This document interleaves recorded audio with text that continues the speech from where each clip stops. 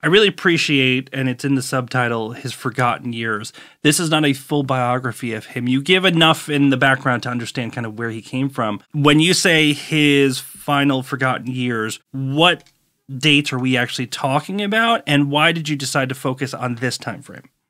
Right. So the book opens in 330 BCE when he's this kind of young, implausibly successful man who, after you know, over the course of the previous three years has conquered and created what is the first European empire in the Middle East. And everyone's kind of expecting him to cash in, go home.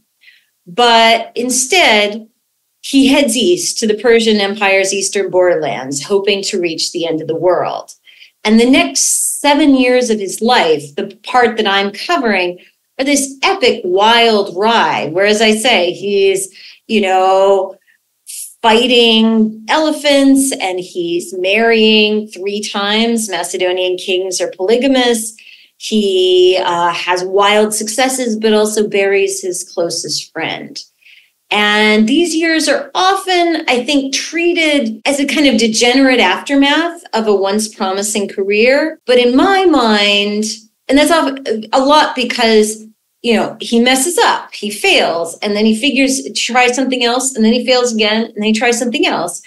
And to me, that's what's interesting about him. That's what's compelling.